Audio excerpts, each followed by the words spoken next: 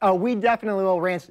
He already started calling out the ones that he wanted for Oh, after no. the segment. No, snooze, lose. You're not. I don't know anything about the calling out. Mini Bar has become one of those places where, oh, you're coming to Jacksonville. You must, must, if you're out at the beach, visit Mini Bar. And Chase is here, and Caitlin is here.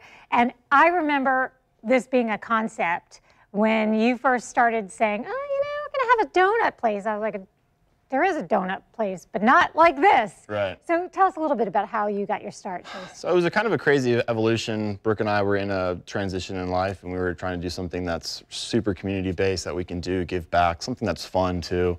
And so we played around with donuts in our kitchen for a good while while we were in transition of occupations, and came up with this. Kids loved them. Every we have so many different options and things, and so it's been great. And why the bite size size? Like, I love it because I'm going to have more Right. than one. Right. And is that part of the reason because of the variety that you have so people can sample more, or was there something behind it? Yeah, so I mean, there's a kind of like it, it's, it seems like it's a win-win kind of thing. Like you get to try different stuff, so you get like three for one kind of deal. Um, Oh, okay. Yeah, and so the other thing too is like with our kids, when we would make them, we'd make regular sized donuts in the house. You know, God forbid we'd give them a full donut, and so uh, they would freak out if we cut it in half. And so we, these mini things are great because you can give them a full donut and not feel bad about it. And It's also they make really good little decorations for events and things like that. They are so cute. They're like cupcakes. It's like the same kind of premise, you Yeah. know. You want individual. Caitlin, you're the manager as well as the chief decorator. Yeah. So tell us a little bit because we haven't had a chance to really talk to you yet.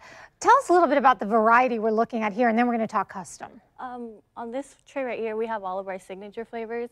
So these you can order on a daily basis. Um, it's all uh, made to order, and and on the other tray is going to be all of our custom donuts. Um, those aren't made to order. Those take a little bit more time to make, so those are made in advance. Is that Fruity Pebbles? I'm looking at what is Yeah, that? that's So- actually that's actual cereal on the Yeah. okay. You were talking about how you're so involved in the community, Yeah. and a lot of times your donuts make it to our show. I know you Yeah. went out there, and that's the one I tried when Amy West was on with the Fruity Pebbles on. And, Oh, she's talking about- okay. and then next week you're on the morning show Mm-hmm. because of Positively Jax, correct? Yeah, we're super excited. I mean, one of the biggest things that we've tr- we started doing was was trying to be involved in the community, and so doing some stuff with uh, Childhood Cancer Awareness Month, and, and being able to work with And the J Fund and uh, all the organizations that are trying to help raise a raise a cure for childhood cancer. That's what So- we're about.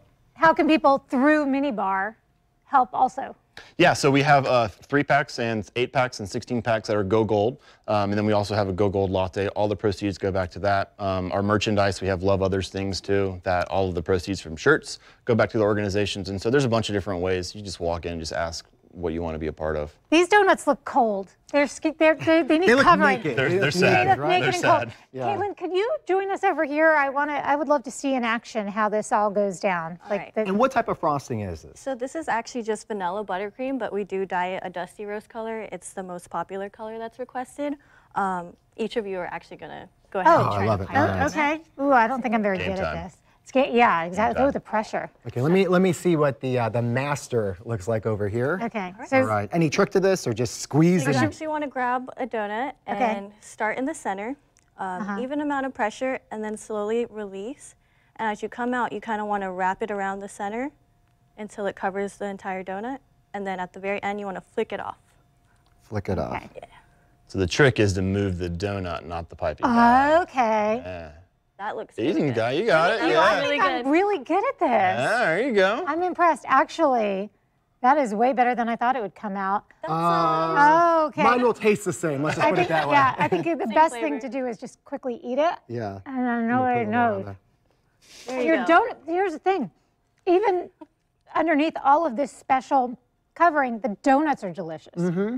Yeah, we have a really old school recipe dough. that goes back to like the 70s, and so it's a very old school recipe. We want to not not reinvent the wheel, but Mm-hmm. put a little bit different tread on it. If you've never been to Mini Bar, we have to insist that you make a trip there over the next several days.